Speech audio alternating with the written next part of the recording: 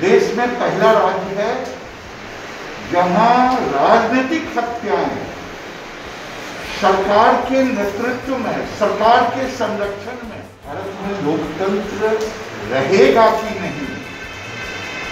ये आज प्रश्न चिन्ह लग गया है बंगाल में टीएमसी के रवैये के कारण। नमस्कार, मैं रोहित कुमार, आप न्यूज़ नेशन देख रहे हैं पश्चिम बंगाल में ममता बनर्जी की प्रचंड जीत के बीच में अब बीजेपी कार्यकर्ताओं की हत्या का सिलसिला शुरू हो गया है। बीते 24 घंटे में वहाँ पर 11 से ज़्यादा कार्यकर्ताओं की हत्या की जा चुकी है। कई महिलाओं के साथ बलात्कार की खबरें हैं तो कई जगहों पर तोड़फोड़, लूटपाट के साथ साथ एसिड अटैक तक किया गया है।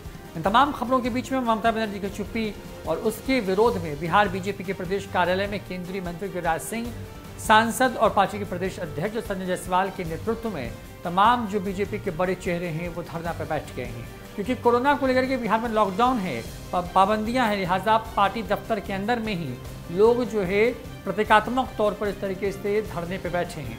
लगातार स्थिति बेकाबू से नज़र आ रही है पश्चिम बंगाल में जब वहाँ पर चुनावी नतीजे आए हैं।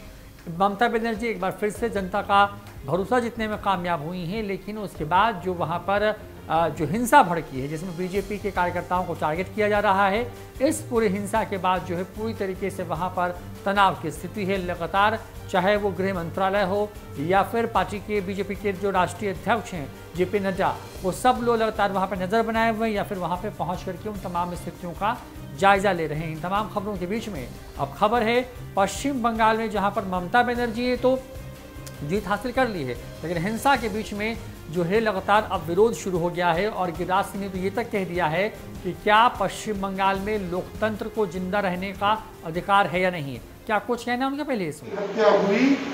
ये एक अलग सवाल है। सवाल है, लोकतंत्र बचेगा कि नहीं? देश के सभी लोगों को सोचने के लिए बाध्य होना पड़ेगा।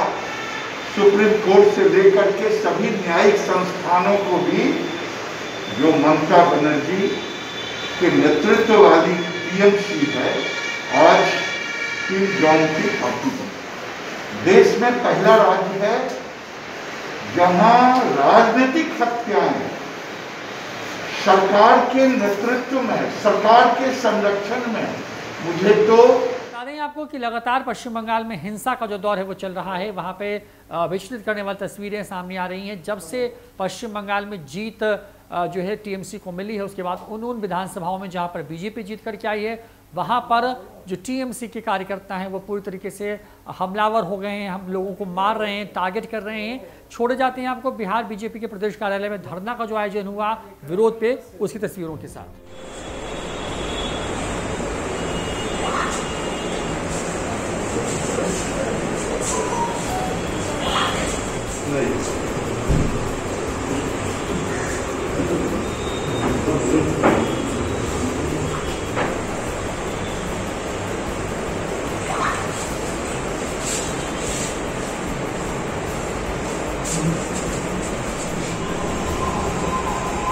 Họ có thể